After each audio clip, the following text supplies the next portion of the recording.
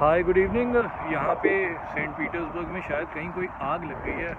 मेरे बैकग्राउंड में देखो तो बहुत ब्लैक ब्लैक स्मोक हो रहा है। रात के ऑलमोस्ट बारह बजने वाले हैं और हालत बहुत ही ख़राब है। मतलब यहाँ तो इतना ब्लैक स्मोक है, इतना डार्क है स्मोक फ़र्स्ट टाइम ऐसा देख रहा हूँ इतने दिनों में।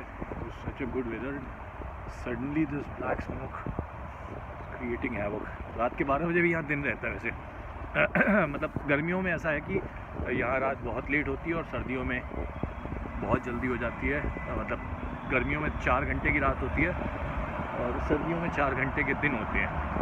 तो कुछ ऐसी जगहें हैं इस दुनिया में जो आ, समझ से परे हैं। हम लोग ऐसी जगहों में नहीं पैदा हुए जहाँ पे इतना ऐसी चीज़ें कॉमन हो। यहाँ पे ऐसा माहौल कॉमन है।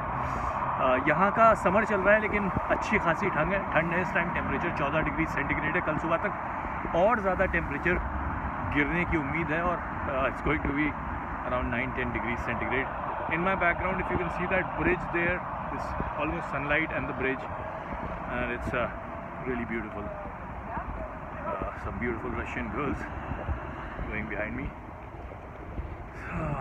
These are the roads. You good always cross on the zebra crossing जैसा हमारे शहरों में भी रूल बनने लगे इट्स ब्यूटीफुल पॉपुलेशन बहुत ज़्यादा नहीं है। सन्नाटा सुनी ही रहे होंगे, गाड़ियों के अलावा किसी चीज़ का शोर नहीं, गाड़ियाँ भी शोर नहीं कर रही सिर्फ़ वो गाड़ियों की दौड़ने की आवाज़ आती है, हॉर्न की कभी नहीं। काफ़ी ठंड लग रही है, मैं जा रहा हूँ होटल वापस। रात के बारह बज चुके हैं, लगभग। अब ग्यारह से बारह के बीच में कोई टाइम है। तो अब मैं जाके सोऊँगा देन आई सी यू